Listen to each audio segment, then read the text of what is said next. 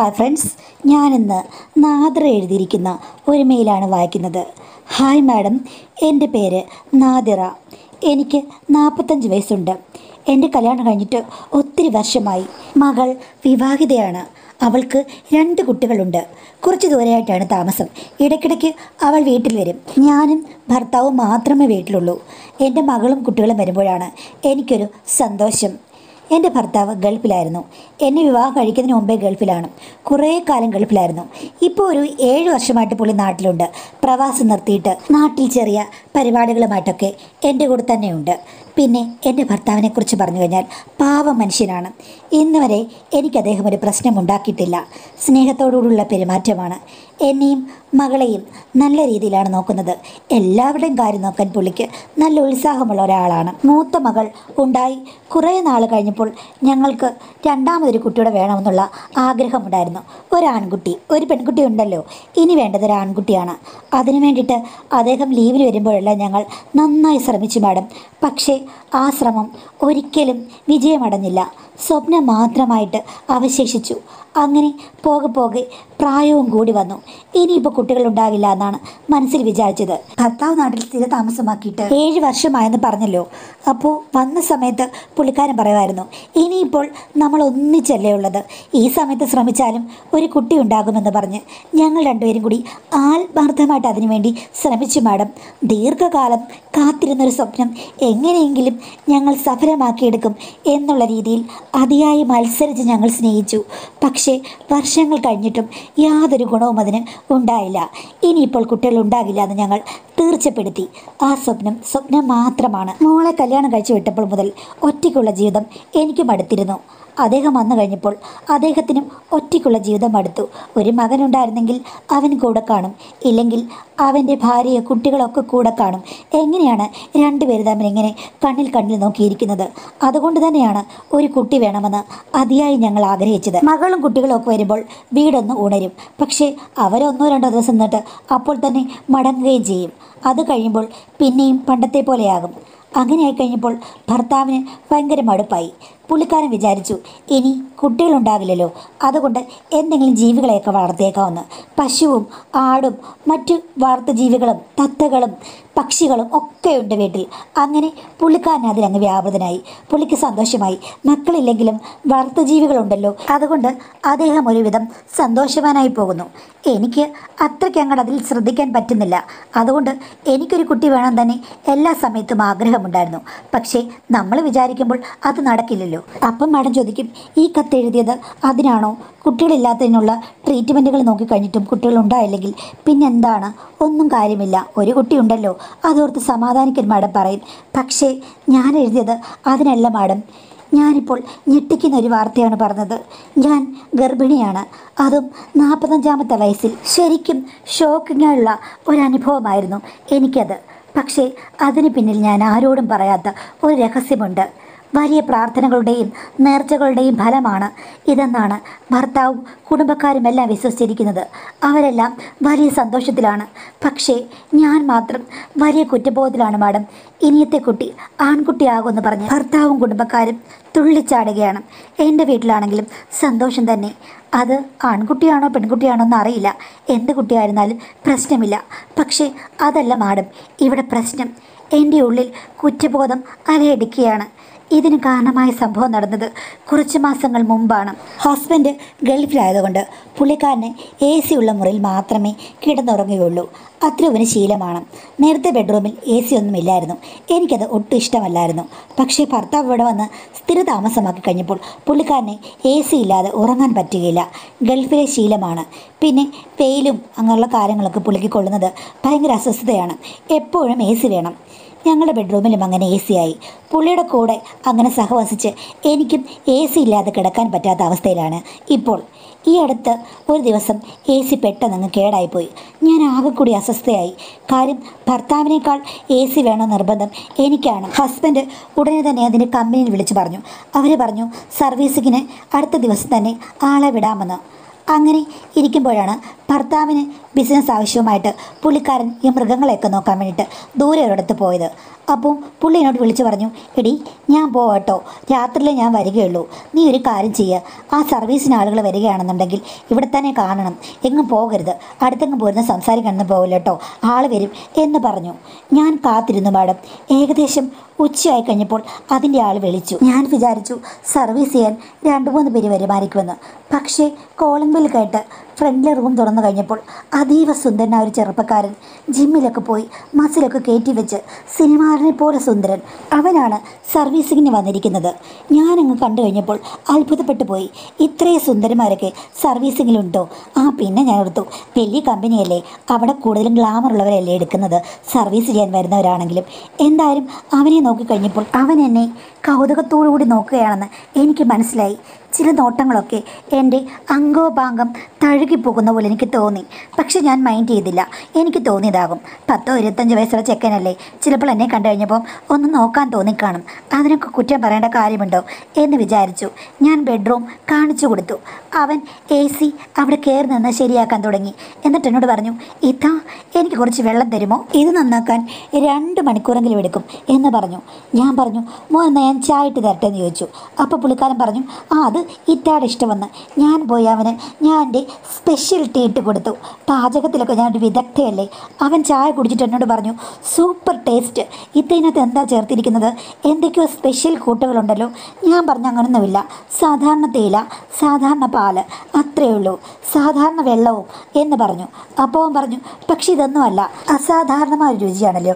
ചായക്ക് ഇതുവരെ ഞാൻ ഇത്ര നല്ലൊരു ചായ കുടിച്ചിട്ടില്ലെന്ന് പറഞ്ഞു. എനിക്ക് മനസ്സിലായി. അവൻ എന്നെ സൂപ്പിക്കാൻ വേണ്ടി പറഞ്ഞതാണെന്ന്. ആ കുഴപ്പമില്ല. അവന്റെ കയ്യിൽ നിന്ന് സുഖിപ്പിക്കുന്ന വർത്തമാനം കേട്ടാലും എനിക്ക് സന്തോഷം തന്നെ. ഞാൻ പിന്നെ അടുക്കളയിലായിരുന്നു. ഇടയ്ക്കിടെ വന്ന് അവനെ നോക്കും. എന്തെങ്കിലും വേണമെന്ന് ചോദിക്കും. ഏകദേശം ഒന്നൊന്നര മണിക്കൂർ കഴിഞ്ഞപ്പോൾ അവൻ അത് നന്നാക്കി. കൂളിംഗ് ഒക്കെ നോക്കാൻ തുടങ്ങി. അപ്പോൾ എന്നെ വിളിച്ചു ഇത്താ ഇങ്ങോട്ട് വന്നേ. ഒന്ന് നോക്കിക്കേ. ഇതിന്റെ കൂളിംഗ് ശരിയാണോ എന്ന് ഞാൻ അവിടെ ചെന്നു. അവൻ കൂളിംഗ് കൂട്ടി കൂട്ടി ഇട്ടു. ഒരു പത്ത് മിനിറ്റ് വെയിറ്റ് ചെയ്തെങ്കിലല്ലേ ശരിക്കുള്ള കൂളിംഗ് അറിയാൻ പറ്റുകയുള്ളൂ. ഞാനും അവന്റെ കൂടെ അവിടെ നിന്നു. നല്ല കൂൾ പഴയതിനേക്കാൾ നന്നായ പോലെ എനിക്ക് തോന്നി. കൂളിംഗ് ഇത്രയും മതിയോ ഇത്ത ശരിയായോ എന്ന് ചോദിച്ചു. ഞാൻ പറഞ്ഞു എല്ലാം ശരിയായെന്ന്. അവൻ എന്റെ കയ്യിലേക്ക് റിമോട്ട് കൺട്രോൾ തന്നു. ഞാനും കൂട്ടിയും കുറച്ചുമൊക്കെ നോക്കി. സംതൃപ്തയായി. ആ സമയത്ത് അവൻ എന്റെ കയ്യിൽ നിന്നും റിമോട്ട് വാങ്ങുന്ന രീതിയിൽ എന്റെ കയ്യിലേക്ക് കടന്നു പിടിച്ചു. എന്റെ കൈത്തണ്ടയിലേക്കായിരുന്നു അവൻ പിടിച്ചത്. പെട്ടെന്ന് ഞാൻ ഞെട്ടിപ്പോയി. ഇവനെന്താണ് ഈ കാണിക്കുന്നതെന്ന്. പക്ഷേ അവൻ എന്റെ കയ്യിൽ നിന്ന് പിടിവിട്ടില്ല. അവന്റെ മുഖത്തേക്ക് നോക്കി കഴിഞ്ഞപ്പോൾ എനിക്കൊന്നും പറയാൻ തോന്നിയില്ല. അത്രയും സുന്ദരനായ ഒരു യുവാവ്.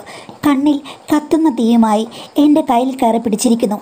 അതുമാത്രമല്ല അവൻ പോകാനുള്ള ഭാവമുണ്ടെന്ന് എനിക്ക് തോന്നിയില്ല എല്ലാം അവന് ഞാൻ സമർപ്പിക്കേണ്ടി വരുമെന്നാണ് അവന്റെ ആ കൈപ്പിടിയിൽ നിന്ന് എനിക്ക് മനസ്സിലായത്. പെട്ടെന്ന് അവൻ മുന്നോട്ട് വന്നിട്ട് എന്നെ കെട്ടിപ്പിടിച്ചു. ഇത്ര എനിക്ക് ഒത്തിരി ഇഷ്ടമായി എന്ന് പറഞ്ഞു. എനിക്ക് വാക്കുകളില്ലായിരുന്നു. അത്രയും ചെറുപ്പക്കാരൻ അവൻ എന്നെ മോഹിക്കുന്നു എന്നുള്ളത് എനിക്ക് സന്തോഷവും അഭിമാനവും ആവേശവും തോന്നുന്ന ഒരു നിമിഷമായിരുന്നു. അവനാണെങ്കിൽ എന്നെ സ്നേഹവായ്പോട് ചേർത്ത് പിടിച്ചുകൊണ്ട് എന്റെ കാതിൽ എന്നെക്കുറിച്ച് തന്നെ നല്ല രീതിയിൽ മന്ത്രിച്ചുകൊണ്ടിരുന്നു. ഇത്തയെ കാണുമ്പോൾ എനിക്കൊന്നും നിയന്ത്രിക്കാനാവുന്നില്ല എന്നവൻ പറഞ്ഞു. അവന്റെ മന്ത്രണത്തിൽ എന്റെ നില വിട്ടുപോയി എന്ന് പറയാം. അതുമാത്രമല്ല അവന് എന്നിൽ മാത്രമായിരുന്നു ശ്രദ്ധ. ഒരു പുരുഷന് സ്ത്രീയോട് ഏറ്റവും അധികം ഇഷ്ടം തോന്നുന്ന നിമിഷങ്ങളിൽ അവൻ അവൾക്ക് വേണ്ടിയിട്ട് എന്ത് വേണമെങ്കിലും പ്രവർത്തിക്കും. ആവേശപൂർണനായ എന്നോട് ഏറ്റവും ഇഷ്ടമുള്ള ഒരു ചെറുപ്പക്കാരന്റെ കരവിരുതുകളും ലാളനകളും ഞാൻ അറിയുകയായിരുന്നു. അതിൽ ഞാൻ മതിമറന്നു പോയി എന്നറിയാം മണിക്കൂറുകൾ കടന്നുപോയത് ഞാൻ അറിഞ്ഞില്ല. കാരണം ഞാൻ എന്റെ യൗവനത്തിലേക്ക് തിരിച്ചുപോയി. എന്റെ ഹസ്ബൻഡിനൊന്നും ഇത്രയും ശക്തി മധുവിധ കാലത്ത് പോലും ഉണ്ടായിരുന്നില്ല. ഓരോ മനുഷ്യർക്കും ഓരോ വ്യത്യസ്തതയാണ് എന്ന് കേട്ടിട്ടില്ലേ? തീർച്ചയായിട്ടും അതിന് ഞാൻ അലിഞ്ഞുപോയി. എന്തായാലും മണിക്കൂറുകൾ കടന്നുപോയി കഴിഞ്ഞപ്പോൾ ഞാൻ ആലസ്യത്തിൽ മുഴുകി. അവനാണെങ്കിൽ പൂർണ സംതൃപ്തനായിരുന്നു. ഞാനാണെങ്കിൽ അതിന്റെ നൂറിരട്ടി സംതൃപ്തയും. അവൻ എല്ലാം കഴിഞ്ഞ ശേഷം എന്നെ സ്നേഹവായ്പോടെ ചേർത്തണച്ചു. എന്നിട്ട് ടാറ്റ പറഞ്ഞു പോയി. ഇതൊരു നല്ല അനുഭവമായിട്ട് ഇത്താ മനസ്സിൽ വെക്കണം. ഞാനും വെക്കണമെന്ന് പറഞ്ഞു. എന്നോട് ഫോൺ നമ്പർ ചോദിച്ചു. ഞാൻ പറഞ്ഞു മോനെ അതൊന്നും വേണ്ട. എന്റെ ഹസ്ബൻഡ് ഫുൾ ടൈം ഇവിടെയുള്ള ആളാണ്. പിന്നെ ഇന്നൊരു അത്യാവശ്യത്തിന് പോകുന്നേ ഉള്ളൂ എന്ന് പറഞ്ഞു. അപ്പോൾ അവൻ പറഞ്ഞു ശരി ഞാൻ ഇത്തേ ബുദ്ധിമുട്ടിക്കുന്നില്ല. നമുക്ക് ഇതൊരു നല്ല നിമിഷമായി ഓർത്തിരിക്കാം എന്ന് പറഞ്ഞിട്ട് അവൻ പോയി. അവൻ പോകുന്നത് ഞാൻ കൗതുകത്തോടെ നോക്കിയിരുന്നു. ഇത്രയും സുന്ദരനായ ഒരു ചെറുപ്പക്കാരൻ ഏത് പെണ്ണും മോഹിക്കുന്ന ഒരു ചെറുപ്പക്കാരൻ അവൻ എത്രയോ പെണ്ണുങ്ങളെ കിട്ടും പക്ഷേ അവൻ എന്നോട് കാണിച്ച സ്നേഹം പരിഗണന ലാളന അതൊക്കെ ഓർത്ത് കഴിഞ്ഞപ്പോൾ എന്റെ ദേഹം കുളിരി കോരി ഇതൊക്കെ ആരോട് പറയാൻ പറ്റും? ഭർത്താവിനോട് പറയാൻ പറ്റുമോ? എന്തായാലും സ്വകാര്യമായ രഹസ്യങ്ങൾ അതെപ്പോഴും നമ്മുടെ സ്വകാര്യതയായിരിക്കും. അത് എല്ലാവരോടും പറയാൻ പറ്റില്ലല്ലോ? അല്ലെങ്കിൽ തന്നെ കുടുംബത്തിൽ നിൽക്കുമ്പോൾ നമുക്ക് ആരോട് പറയാൻ പറ്റും? അത് ഒരു മധുരതരമായ ഓർമ്മയായി എന്റെ മനസ്സിൽ ഇങ്ങനെ കിടന്നു. ഞാൻ ആ ഓർമ്മകളെ ഇടയ്ക്കിടയ്ക്ക് താലോലിക്കുമായിരുന്നു. ഇനി ഒരിക്കൽ കൂടി അവൻ വന്നിരുന്നെങ്കിൽ ഞാൻ ആലോചിക്കും. പക്ഷേ അത് നടപ്പുള്ള കാര്യമല്ല. ഒരിക്കലും അവൻ വരികയില്ല. അല്ലെങ്കിൽ ഞാൻ എ സി കുത്തിപ്പൊട്ടിച്ച് കേടാക്കണം. അത് നടക്കുന്ന കാര്യമല്ലല്ലോ. എങ്കിലും ഞാൻ ഓർക്കും എത്ര പെട്ടെന്നാണ് അവന്റെ മുന്നിൽ ഞാൻ വശമതയായത് വിടാതെ വിടാതെ ഞാൻ അവനെ മണിക്കൂറുകളോളം പിടിച്ചു വെച്ചിരിക്കുകയായിരുന്നു എന്ന് എനിക്ക് തന്നെ തോന്നി. കാരണം അവൻ ഇടയ്ക്ക് നിർത്തിപ്പോരാൻ തുടങ്ങിയപ്പോൾ പറ്റില്ല പറ്റില്ല എന്നുള്ള രീതിയിലായിരുന്നു എന്റെ പ്രകടനമെന്ന് എനിക്ക് തോന്നാറുണ്ട്. ഞാനത് ആഗ്രഹിച്ചിരുന്നു. കാരണം പ്രായം എത്ര എന്ന് പറഞ്ഞാലും നമ്മുടെ ഉള്ളിലും ചില ചില ആഗ്രഹങ്ങൾ കാണില്ലേ? എല്ലാം അങ്ങ് ഭർത്താവിൽ സമർപ്പിച്ച് ജീവിക്കാൻ പറ്റും. പക്ഷേ മാഡം ഞാൻ വിചാരിച്ചതുപോലെ ആയിരുന്നില്ല സംഭവിച്ചത്. ഈ ഇക്കിളിപ്പെടുത്തുന്ന ചിന്തകളെ ഞാൻ താലോലിച്ചിരുന്നെങ്കിലും ഒരു മാസം കഴിഞ്ഞിട്ടും എന്റെ മാസമുറ വന്നില്ല. ഞാൻ ഞെട്ടലോട് തിരിച്ചറിഞ്ഞു. ഞാൻ ഗർഭിണിയാകാൻ പോവുകയാണെന്ന് എനിക്ക് ആദ്യം സംശയമേ ഉണ്ടായിരുന്നുള്ളൂ. കുറച്ച് ദിവസം കഴിഞ്ഞപ്പോൾ അതാ വരുന്നു ഗർഭിണിയുടെ എല്ലാ ലക്ഷണങ്ങളും ഛർദിലും തലകറക്കവും ആകെ മൊത്തം സീനായി. ഭർത്താവ് ശ്രദ്ധിച്ചു. ഉടനെ തന്നെ എന്നെ ആശുപത്രിയിൽ കൊണ്ടുപോയി. അതാ വരുന്നു ആ സന്തോഷ വാർത്ത. പിന്നെ കുടുംബത്തിൽ സത്യം പറഞ്ഞാൽ വലിയൊരു ഉത്സവമായിരുന്നു. ഞാൻ മാത്രം ഞെട്ടിവിറച്ച് കുറ്റബോധം കൊണ്ട് തല കുനിച്ച് നിൽക്കുകയാണ്. ആരോടെങ്കിലും പറയാൻ പറ്റുമോ? ഒന്നും പറ്റില്ല. എന്റെ ഉള്ളിലിരുന്ന് ഇത് തിളയ്ക്കുകയാണ് മാഡം. ഞാൻ ആകെ കുഴഞ്ഞു. എന്ത് ചെയ്യണമെന്ന് അറിയാതായി വലിയൊരു അബദ്ധമാണ് പറ്റിയിരിക്കുന്നത്. എന്ത് ചെയ്യും? എന്റെ കൺമുന്നിൽ ഒന്നും ചെയ്യാനില്ലായിരുന്നു. എല്ലാം നാട്ടു നടപ്പോലെ നടക്കട്ടെ എന്ന് ഞാൻ കരുതി.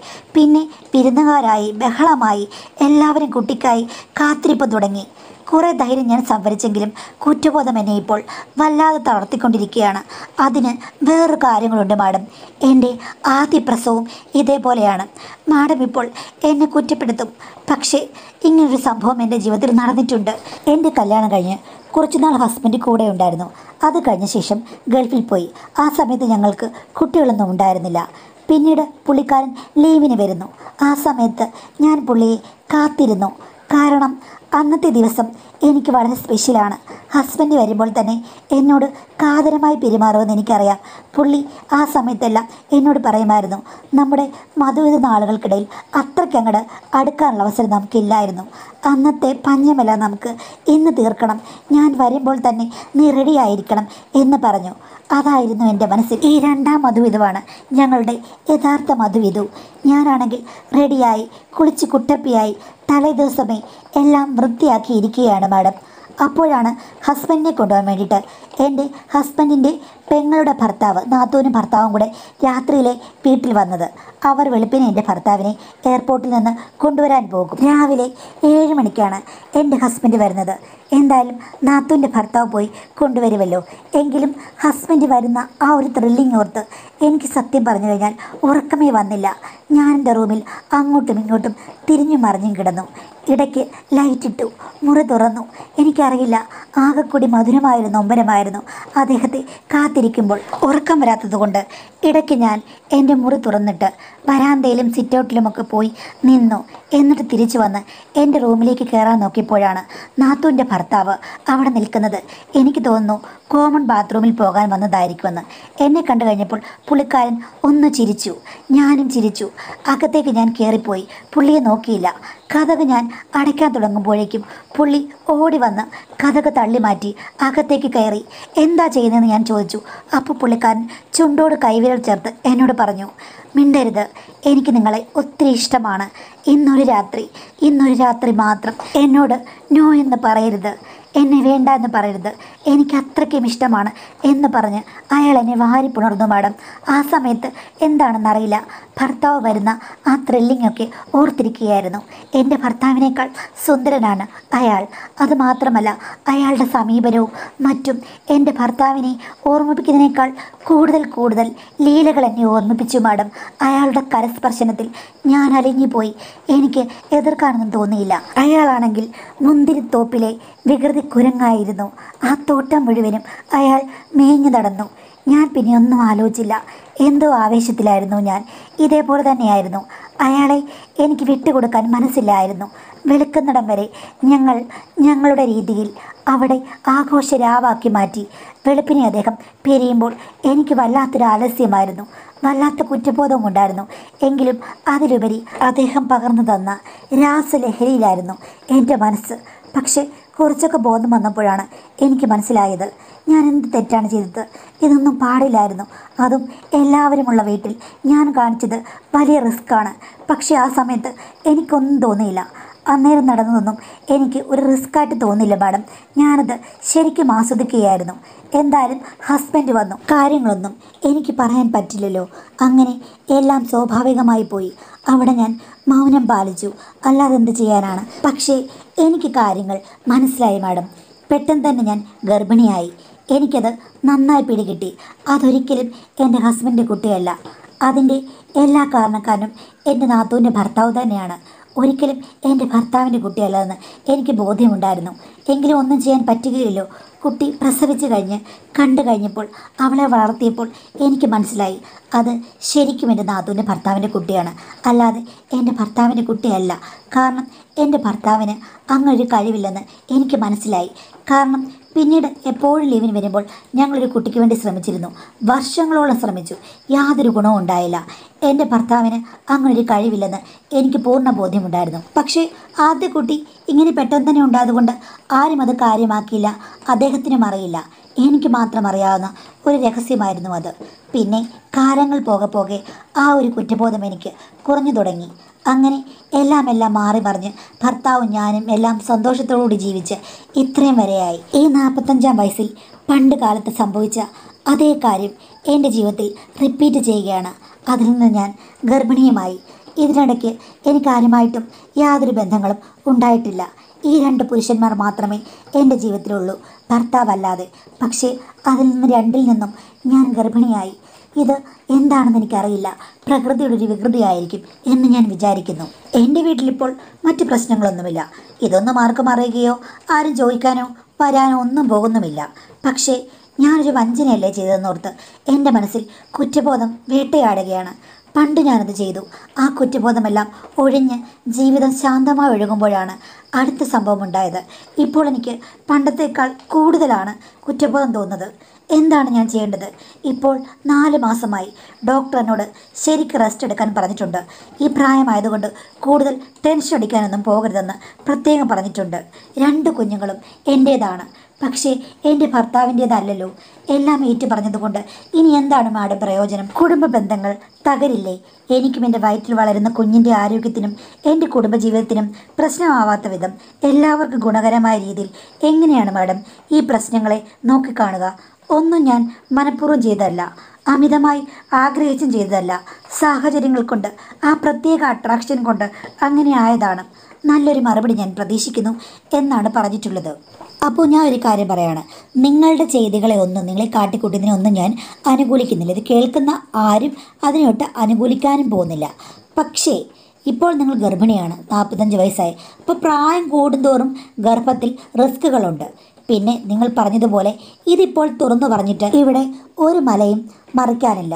കുട്ടികളൊന്നുമില്ല എന്നോർത്ത് ദുഃഖിച്ച് മറ്റ് ജീവികളെ ഇഷ്ടം പോലുള്ള സാധു ജീവികളെ പോറ്റി വളർത്തുന്ന ഒരു മനുഷ്യനാണ്. അയാളുടെ ആ ഹൃദയത്തിന്റെ നന്മ കൊണ്ട് നിങ്ങൾക്ക് ഒരു കുട്ടിയോട് ഉണ്ടായിക്കഴിഞ്ഞാലും അയാൾക്ക് വളർത്താൻ ദൈവത്തിന്റെ കാരണം കൊണ്ട് ഒരു ബുദ്ധിമുട്ടും കാണുകയില്ല. കാരണം ഓൾറെഡി അയാളുടേതല്ലാത്ത ഒരു കുട്ടിയെ പോലും അയാൾ സ്നേഹിച്ച് വളർത്തുന്ന ഒരു പാവ മനുഷ്യനാണ്. അതുകൊണ്ട് തന്നെ നിങ്ങളെക്കാൾ കൂടുതൽ ദൈവകൃപ അങ്ങേർക്ക് കാണും. അതുമാത്രമല്ല അദ്ദേഹം ഒരു സാധു മനുഷ്യനാണ്. അങ്ങേരുടെ മനസ്സ് വേദനിപ്പിക്കുന്ന രീതിയിൽ ഒന്നും പറയരുത്. കാരണം വെച്ചാൽ ഇപ്പോൾ കുട്ടിയുണ്ടായി രണ്ട് കുട്ടികൾ അയാളുടേതല്ല എന്ന് പറഞ്ഞു കഴിഞ്ഞാൽ എന്താകും നടക്കാൻ പോകുന്നത്? അതും ഈ വയസ്സാം കാലത്ത് അങ്ങനെ ഹൃദയം പൊട്ടി മരിക്കുകയില്ലേ? അതുമാത്രമല്ല കുടുംബ ബന്ധങ്ങൾ ശിഥിലമാവുകയും ചെയ്യും. നിങ്ങൾക്കൊരിക്കലും കൂട്ടി യോജിപ്പിക്കാൻ വയ്യാത്ത വിധം നിങ്ങളുടെ കുടുംബം അകന്നു പോകും ഈ പ്രായമായ സമയത്ത് ഇത് തുറന്നു പറഞ്ഞ് കുടുംബ ബന്ധങ്ങളെല്ലാം ശിഥിലമായി കഴിഞ്ഞാൽ ആരും നിങ്ങളുടെ കൂടെ കാണില്ല. ആരും നിങ്ങളെ അനുകൂലിക്കാനും കാണുകയില്ല. അതുകൊണ്ട് രഹസ്യം രഹസ്യമായിട്ടിരിക്കട്ടെ. കുറ്റബോധം നല്ലതാണ് അല്ലെങ്കിൽ തെറ്റ് ചെയ്തതിനെക്കുറിച്ചുള്ള ബോധവും നല്ലതാണ്. പക്ഷേ എല്ലാ തെറ്റുകളും നമുക്ക് പുറത്തു പറയാൻ പറ്റുകയില്ല. ചില കുറ്റബോധങ്ങൾ നമ്മൾ സഹിക്കേണ്ടി വരും. അതിനെ തരണം ചെയ്യേണ്ടി വരും. അപ്പോൾ നിങ്ങളുടെ ഹിസ്റ്ററിയിൽ നിന്ന് എനിക്ക് മനസ്സിലാകുന്ന ഒരു കാര്യം എന്താണെന്ന് വെച്ച് കഴിഞ്ഞാൽ നിങ്ങൾ മനഃപൂർവം ആണുങ്ങളെ അട്രാക്റ്റ് ചെയ്യാൻ വേണ്ടിയിട്ട് എന്തെങ്കിലും കാണിക്കുകയോ അവരെ വശീകരിക്കാൻ വേണ്ടിയിട്ട് എന്തെങ്കിലും കാര്യങ്ങളിൽ മുൻകൈ എടുക്കുന്ന ഒരാളുമല്ല. അവരെ ശ്രദ്ധിക്കും അത്രേ ഉള്ളൂ. അതിൽ കൂടുതൽ നിങ്ങൾക്ക് ഈ ഒരു കാര്യം മനസ്സിൽ വിചാരിച്ചുകൊണ്ട് തന്നെ നിങ്ങൾ അവരെ അപ്രോച്ച് ചെയ്യുന്ന ഒരാളല്ല. പക്ഷേ നിങ്ങളുടെ മനസ്സിൽ ഭയങ്കരമായുള്ള സദാചാരമൊന്നും ആ സമയത്തില്ല. ഇതിനേക്കുള്ളൊരു താല്പര്യം ഇങ്ങനെ നല്ല രീതിയുണ്ട് ഭർത്താവ് വരുന്നത് ഇങ്ങനെ നോക്കി നിൽക്കുകയാണ്. ആ സമയത്ത് നിങ്ങളുടെ മനസ്സിലുണ്ടായിരുന്നത് സദാചാരമോ തെറ്റോ കുറ്റമോ ഒന്നുമല്ല. നിങ്ങളപ്പോൾ ഭർത്താവിന് വേണ്ടി വെയിറ്റ് ചെയ്തിരിക്കുകയാണ്. ആ ഒരു ഇടവേള കഴിഞ്ഞ് വരുന്ന ഒരു ആവേശം. ആ സമയത്താണ് നാത്തൂന്റെ ഹസ്ബൻഡ് വന്നിട്ട് ഇഷ്ടമാണെന്ന് പറഞ്ഞത്. അപ്പോൾ നിങ്ങളെന്താണോ പ്രതീക്ഷിച്ചുകൊണ്ടിരുന്നത് അതിന്റെ ഏഴിൽ പരമാണ് അയാൾ വന്ന് പറഞ്ഞത്. അങ്ങനെ ആയി കഴിഞ്ഞപ്പോൾ അഞ്ചോ ആറോ മണിക്കൂർ കഴിഞ്ഞിട്ടേ ഭർത്താവ് വരികയുള്ളൂ. അത് കഴിഞ്ഞിട്ട് പുള്ളിക്കാരൻ അടുത്ത് വരുന്ന ആ സമയത്തിന് വേണ്ടി കാതോർത്തിരുന്ന നിങ്ങൾക്ക് അതിന് മുൻപേ തന്നെ കിട്ടുകയാണ് ആ ഒരു കനി പിന്നെ എന്തിനാണ് വെറുതെ കളയുന്നത് എന്നോർത്ത് നിങ്ങൾക്ക് അന്നേരം അധികമൊന്നും എതിർപ്പ് കാണിക്കാൻ ഒന്നും തോന്നില്ല കാര്യം ആ സമയത്ത് നിങ്ങളുടെ ഉള്ളിൽ അലയടിച്ചിരുന്ന വികാരം എന്ന് പറഞ്ഞത് ഉച്ചസ്ഥായിലായിരുന്നു. അവിടെ സദാചാരത്തിനോ അല്ലെങ്കിൽ വേറെ കാര്യങ്ങൾക്കൊന്നും സ്ഥാനമില്ലായിരുന്നു.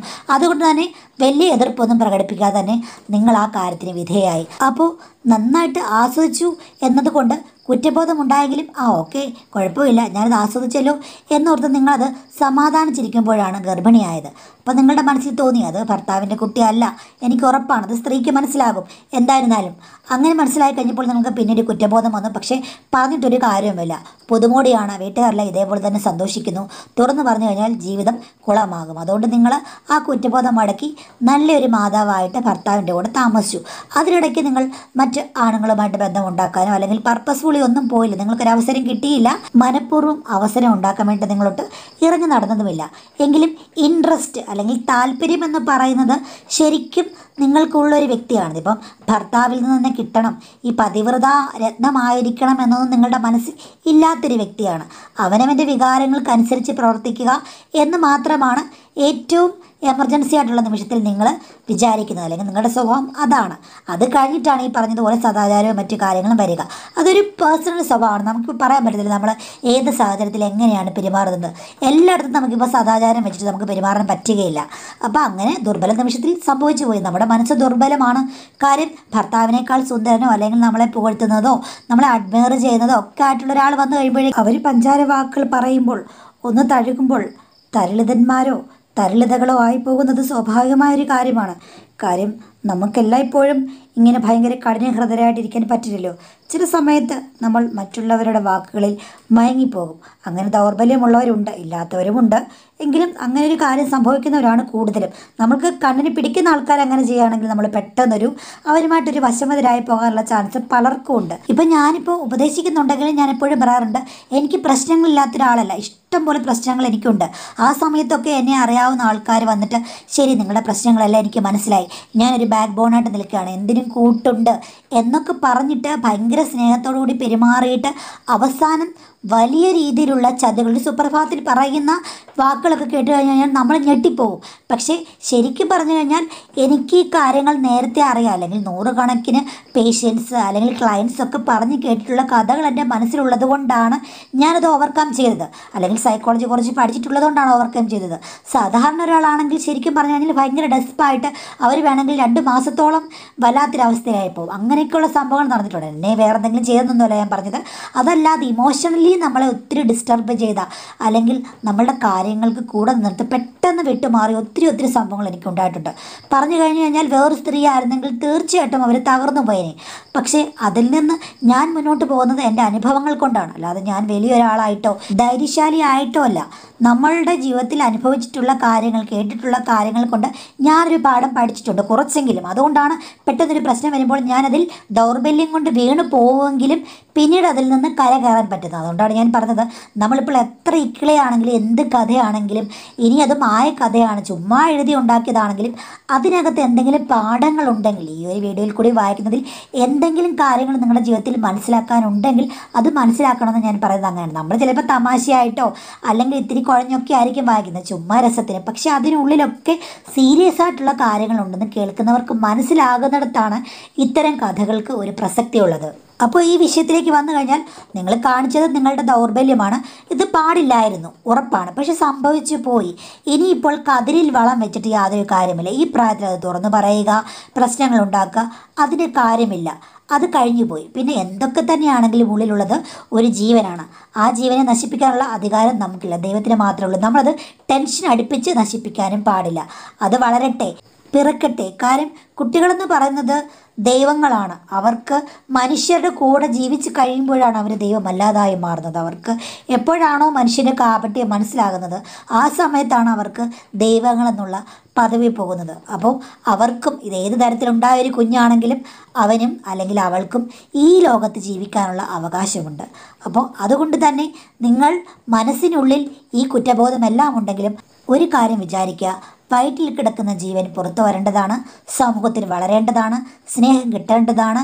എല്ലാ രീതിയിലും നല്ലൊരു മനുഷ്യനായിട്ട് വളരേണ്ട ഒരു കുട്ടിയാണ്. അപ്പോൾ അതിനെ നമ്മളിപ്പോൾ ഈ കാര്യങ്ങളൊക്കെ തുറന്നു പറഞ്ഞിട്ട് വലിയൊരു കോലാഹലം ഉണ്ടാക്കിയിട്ട് കുടുംബം എല്ലാം സെപ്പറേറ്റ് ആയുള്ള ഒരു അന്തരീക്ഷത്തിൽ ജനിപ്പിക്കേണ്ട കാര്യമുണ്ടോ? ഇല്ല. കാര്യം തെറ്റ് ചെയ്യാത്ത ആ കുട്ടി നിങ്ങളുടെ തെറ്റ് മൂലം നിങ്ങൾ തുറന്നു പറഞ്ഞത് മൂലം വീട്ടിൽ കലഹങ്ങളുണ്ടായി ഭർത്താവ് ഉപേക്ഷിച്ചിട്ട് എല്ലാവരും നാല് നാല് മൂലയ്ക്കാകുന്ന അന്തരീക്ഷത്തിൽ പ്രശ്നങ്ങളുടെ നടുക്ക് നാണക്കേടിന് നടുക്ക് അവൻ അല്ലെങ്കിൽ അവൾ ജനിച്ചു വീഴേണ്ട കാര്യമുണ്ടോ? ഇല്ല. അതാണ് നമ്മൾ ചെയ്യുന്ന ഏറ്റവും തെറ്റ്. അപ്പോൾ ആ കുട്ടിയെ നമ്മളായിട്ട് പ്രശ്നത്തിലാക്കരുത്. അതുകൊണ്ട് തന്നെ സമാധാനിക്കുക. ഇതെന്റെ ക്യാരക്ടറിന്റെ കൈപ്പിഴയാണ്. സംഭവിച്ചു പോയി. അതിനി ഏറ്റു പറഞ്ഞിട്ട് യാതൊരു കാര്യവുമില്ലാത്ത കാര്യമാണ്. കാരണം ആർക്കും സംശയവുമില്ല. എല്ലാവർക്കും സന്തോഷമാണ്. മറ്റുള്ളവരുടെ സന്തോഷത്തിന് വേണ്ടിയിട്ട് ചില കാര്യങ്ങൾ നമുക്ക് മറച്ചു പിടിക്കാം. കുറച്ച് കുറ്റബോധം വേണം. അത് അടുത്ത തെറ്റുകൾ ആവർത്തിക്കാതിരിക്കാനും നമ്മൾ ശുദ്ധീകരിക്കാനും വേണ്ടിയിട്ടുള്ളതാണ് കുറ്റബോധം. അല്ലാതെ നമ്മൾ ഡെസ്പായിട്ട് ഗർഭസ്ഥ ശിശുവിന് പോലും പ്രശ്നമുണ്ടാകുന്ന രീതിയിൽ തളർന്നു പോകാൻ വേണ്ടിയിട്ടല്ല കുറ്റബോധം. കുറ്റബോധം പറഞ്ഞു കഴിഞ്ഞാൽ നമ്മളെ ശുദ്ധീകരിക്കാൻ വേണ്ടിയാണ് പക്ഷേ ആദ്യത്തെ കുറ്റബോധത്തിൽ നിങ്ങൾ ശുദ്ധീകരിച്ച വ്യക്തിയല്ല. രണ്ടാമത് സംഭവിച്ചു. അപ്പോൾ ഇതിനകത്ത് വലിയ കാര്യമൊന്നുമില്ല ഇതൊക്കെ ഈസിയായിട്ട് എടുക്കാം. നിത്യത്തൊഴിലഭ്യാസം സംഭവിച്ചു പോയി. ആദ്യത്തേതുപോലെ തന്നെ മാനേജ് ചെയ്ത് പോവുക. കാര്യം നിങ്ങളുടെ ഉള്ളിൽ ആദ്യത്തെ സംഭവം മാനേജ് ചെയ്യാനുള്ള വലിയൊരു കഴിവുണ്ടായിരുന്നല്ലോ. അതും വളരെ ചെറുപ്പത്തിൽ. ആ ഒരു തന്റെ ഇപ്പോഴും കാണും. കാര്യം ചാരം മൂടി കണൽക്കട്ടയായിട്ട് നിങ്ങളുടെ ഉള്ളിന്റെ ഉള്ളിൽ മിടുക്കൊക്കെ ഉണ്ട് കാരണം വെച്ച് കഴിഞ്ഞാൽ ആരും അറിയാതെ ഈ കാര്യങ്ങളൊക്കെ ഒന്ന് സാധിച്ചെടുക്കാനും അവർ വരുമ്പോൾ ആ ആയിക്കോട്ടെ എന്ന് പറഞ്ഞ് നിന്ന് കൊടുക്കാനുമുള്ള ആ ഒരു മനസ്ഥിതി ഉണ്ടല്ലോ. അത് തന്നെ തന്റെ ഇടം തന്നെയാണ്. എന്നിട്ട് മാനേജ് ചെയ്താണല്ലോ ഒരു സിറ്റുവേഷൻ. അതുകൊണ്ട് ഇതും അങ്ങോട്ട് കൂളായിട്ട് മാനേജ് ചെയ്യുക. ടെൻഷൻ അടിക്കാനോ തുറന്നു പറയാനോ ഒന്നും പോകേണ്ട കാര്യമില്ല. നല്ല രീതിയിൽ നല്ല ഭക്ഷണമൊക്കെ കഴിച്ച് വിശ്രമിച്ച് നല്ല ആരോഗ്യമുള്ളൊരു കുഞ്ഞിനായിട്ട് കാത്തിരിക്കുക. ആ കുഞ്ഞിനെ നന്നായിട്ട് നോക്കുക. അതിനുമുപരി നിങ്ങളുടെ ഭർത്താവിനോടുള്ള റെസ്പെക്റ്റും അയാളോടുള്ള കൺസിഡറേഷനും നിങ്ങൾ കൂട്ടുക. കാര്യം പറഞ്ഞു കഴിഞ്ഞാൽ ആ മനുഷ്യൻ ഒരു വളരെ നല്ല മനുഷ്യനാണ് ഒരു ത്യാഗിയാണ്. അപ്പോൾ നിങ്ങൾ തുറന്ന് പറഞ്ഞില്ലെങ്കിലും അയാളോട് നിങ്ങൾ ചെയ്തൊരു കാര്യമില്ലേ? അതിൽ കുറ്റബോധമുണ്ട്. അതിൽ തളർന്നു പോകുന്നതിന് പകരം ഭർത്താവിനെ ഏറ്റവും നല്ല രീതിയിൽ സ്നേഹിക്കുകയും പരിചരിക്കുകയും ഒക്കെ ചെയ്ത് നിങ്ങൾ സ്നേഹം കൊടുത്തിട്ട് അത് കോമ്പൻസേറ്റ് ചെയ്യാവുന്നതേ ഉള്ളൂ. ഇത്തരം കാര്യങ്ങൾ ആവർത്തിക്കാതിരിക്കുക. അത് മാത്രവുമല്ല നിങ്ങൾക്ക് ഇപ്പോൾ ഒരു കുട്ടി ഉണ്ടായത് ഏത് വഴിക്കുണ്ടായെന്ന് പറഞ്ഞാൽ അതിനെ നന്നായിട്ട് വളർത്തുക. വലിയ പ്രശ്നങ്ങളൊന്നും ഉണ്ടാക്കാതിരിക്കുക. പിന്നെ നിങ്ങളുടെ മനസ്സിൽ ഇങ്ങനൊരു കാര്യം കുറ്റബോധമാണെന്നുണ്ടെങ്കിൽ അതിനെ തുറന്നു പറഞ്ഞ് ജീവിതം കുളമാക്കാനോ ടെൻഷൻ അടിച്ച് കുഞ്ഞിന്റെ ആരോഗ്യം കളയാനോ പോകേണ്ട കാര്യമില്ല. നിങ്ങളതിൽ ശരിക്കും പ്രാചിത്യം ചെയ്യണമെന്നുണ്ടെങ്കിൽ എത്രയോ പേർക്ക് നമുക്ക് സഹായം ചെയ്യാതാണ് ഉള്ളത് കൊടുക്കുക. ഒരു നേരത്തെ ആഹാരമാണെങ്കിൽ ആഹാരം വസ്ത്രമാണെങ്കിൽ വസ്ത്രം. ഇപ്പോൾ നോമ്പിന്റെ കാലമാണ്. അത് നിങ്ങൾക്ക് പറയാതെ തന്നെ അറിയാവുന്ന കാര്യമാണ്. അപ്പോൾ നിങ്ങളെക്കൊണ്ട് പറ്റുന്ന കാര്യങ്ങൾ സഹായങ്ങൾ മറ്റുള്ളവർക്ക് ചെയ്യുക. എന്തായാലും നിങ്ങൾ ആരുടെയും ജീവൻ എടുത്തിട്ടില്ല. ഒരു ജീവൻ കൊടുക്കാൻ പോവുകയാണ്. അത് വരികയാണ്. സന്തോഷത്തോടുകൂടി ആ കുട്ടിയെ വളർത്തുക. കുറ്റബോധമുണ്ടെങ്കിൽ അത് മറ്റുള്ളവർക്ക് നന്മ ചെയ്ത് തീർക്കുക. ഭർത്താവിനോടും നല്ല രീതിയിൽ പെരുമാറുക. നല്ലൊരു അമ്മയായിട്ടിരിക്കുക. അതുമാത്രവുമല്ല കുട്ടിയെ നന്നായി ടെൻഷനില്ലാതെ വളർത്തുക. നല്ല രീതിയിൽ ഗർഭകാലം കൊണ്ടുപോവുക. എല്ലാം ദൈവത്തിന് വിട്ടേക്ക്. എത്ര വലിയ തെറ്റും നമുക്ക് നന്മകളിൽ കൂടി തിരുത്താവുന്നതേ ഉള്ളൂ അപ്പം നിങ്ങൾക്ക് നന്മ ചെയ്യാനുള്ള അവസരം ദീർഘായുസൊക്കെ നീണ്ടു കിടക്കുകയാണ്. അതുകൊണ്ട് നിങ്ങളെക്കൊണ്ട് മറ്റുള്ളവർക്ക് ജീവിതത്തിൽ എപ്പോഴും ഉപകാരം ഉണ്ടായിക്കൊണ്ടിരിക്കുകയാണ്. മറ്റുള്ളവരുടെ കഷ്ടപ്പാടുകൾ തിരിച്ചറിയുന്ന ഒരു വ്യക്തിയാണ് നിങ്ങളെങ്കിൽ ഒന്നിലും നിങ്ങൾ വിഷമിക്കേണ്ട കാര്യമില്ല. പക്ഷേ എന്ന് വെച്ചിട്ട് ഏതെങ്കിലും ഒരു വരുമ്പോഴേക്ക് നിങ്ങൾ വികാര തരളതയായി പോകുന്ന ഒരു സ്വഭാവം കുടുംബത്തിൽ ജീവിക്കുന്ന പെണ്ണിനെ കൊള്ളില്ല കാരണം വെച്ചാൽ അതിൽ ഭാര്യയും ഭർത്താവും തമ്മിലൊരു വിശ്വാസമായിരിക്കുമല്ലോ. ആ വിശ്വാസത്തിന് വിഘാതം തന്നെയാണ്. അതിനൊന്നും ന്യായീകരിക്കുന്നില്ല. പക്ഷെ ഇങ്ങനെ സംഭവിച്ചു പോയി. കഴിഞ്ഞു പോയ കാര്യമാണ്. നമുക്കിനി ഒന്നും ചെയ്യാൻ പറ്റാത്തൊരു കാര്യമായതുകൊണ്ട് അതിനെ നമ്മൾ ഡൈവേർട്ട് ചെയ്ത് വിടുക. കാര്യം നന്മയുടെ വഴിയിലേക്ക് നമുക്ക് തിരിയാവുന്നതേ ഉള്ളൂ. ഒരു കുട്ടി കൂടി ഉണ്ടായിക്കഴിയുമ്പോൾ നിങ്ങളുടെ ജീവിതത്തിൽ നിങ്ങൾ ഒന്നുകൂടി നല്ല രീതിയിൽ ശുദ്ധീകരിച്ച് കൂടുതൽ നന്മയുള്ളവളായിട്ട് മാറാൻ ഈ സംഭവം ഉപകരിക്കട്ടെ എന്ന് എനിക്ക് പറയാനുള്ളത്. അതേപോലെ തന്നെ ഹസ്ബൻഡിന്റെ കാര്യത്തിലും അയാളോട് കൂടുതൽ കൺസിഡറേഷൻ കാണിക്കുക. അതാണ് ഏറ്റവും ആദ്യം വേണ്ടത്. കാര്യം ആ മനുഷ്യനൊന്നും അറിയാതെ ചതിക്കപ്പെട്ടുകൊണ്ടിരിക്കുകയാണ്. പക്ഷേ എങ്കിൽ പോലും അദ്ദേഹത്തെ ഒരു വാക്കുകൊണ്ടോ നോട്ടം കൊണ്ടോ വിഷമിപ്പിക്കരുത് നിങ്ങൾ. അതേപോലെ നിങ്ങൾ സ്വയം വിഷമിക്കേണ്ട കാര്യമില്ല. നടന്നത് നടന്നു. പ്രാക്ടിക്കലായിട്ട് ജീവിക്കാൻ പറ്റില്ലെങ്കിൽ നമുക്ക് ജീവിക്കാൻ പറ്റില്ല. ആദ്യം നിങ്ങൾക്ക് ഇത് അനുഭവം ഉള്ളതായതുകൊണ്ട് ഇത് അതേ സെയിം മെത്തേഡ് തന്നെ ഇതിലേക്ക് അപ്ലൈ ചെയ്യുക സന്തോഷമായിട്ടിരിക്കുക എന്ന് വെച്ചിട്ട് ഇങ്ങനൊരു കാര്യത്തെ നമ്മൾ പ്രോത്സാഹിപ്പിക്കുകയോ പെട്ടെന്ന് ദൗർബല്യമുള്ള നമ്മുടെ സ്വഭാവത്തെ ആയിക്കോട്ടെ അങ്ങനെ നടന്നോളൂ എന്ന് പറഞ്ഞ് അതിനെ പോസിറ്റീവായി കാണുകയോ ഒന്നുമല്ല. നടന്നു കഴിഞ്ഞു കഴിഞ്ഞാൽ പിന്നെ അടുത്ത കാര്യമാണ് നമ്മൾ നോക്കേണ്ടത്. മാനേജ് ചെയ്യാനുള്ള കാര്യമാണ് നോക്കേണ്ടത്. എന്ത് സംഗതിയാണെങ്കിലും തലയ്ക്ക് മീതെ വെള്ളം വന്നാൽ അതിന് മീതെ തോണി എന്നാണ് പറഞ്ഞത്. അത്രയും നമുക്ക് ചെയ്യാൻ പറ്റുകയുള്ളൂ. അപ്പോൾ നടന്നത് നടന്നു നമ്മളത് മാനേജ് ചെയ്യുക. അതിനുള്ള കഴിവും കരുത്തും ഒക്കെ വേണം. എങ്കിൽ മാത്രമേ നല്ല രീതിയിൽ മുന്നോട്ട് പോകാൻ പറ്റത്തുള്ളൂ. അതുപോലെ ഗർഭസ്ഥ ശിശുവിനെ ബാധിക്കുന്ന രീതിയിലുള്ള ടെൻഷനൊക്കെ ഒഴിവാക്കുക റിലാക്സ് ആയിട്ടിരിക്കുക ഇത് മറക്കാൻ ശ്രമിക്കുക അത് സ്വപ്നമാണെന്ന് വിചാരിക്കുക ഇത് ഭർത്താവിന്റെ കുട്ടിയാണെന്ന് വിചാരിച്ച് മുന്നോട്ട് പോവുക. ഈ കഥയിലെ കാര്യങ്ങളൊക്കെ കേട്ടിട്ട് ഇങ്ങനെയൊക്കെ ചെയ്തിട്ട് പിന്നെ ഈ രീതിയിൽ സമാധാനിച്ചാൽ മതി എന്നുള്ള രീതിയിൽ ആരും സോഫ്റ്റായിട്ട് ചിന്തിക്കരുത്. വന്നത് വന്നു. അതുകൊണ്ട് അതിന് മറുപടി പറഞ്ഞെന്ന് മാത്രമേ ഉള്ളൂ. ഇതൊന്നും ഒരു അനുകരണീയമായ മാതൃകയോ കഥയോ അല്ല.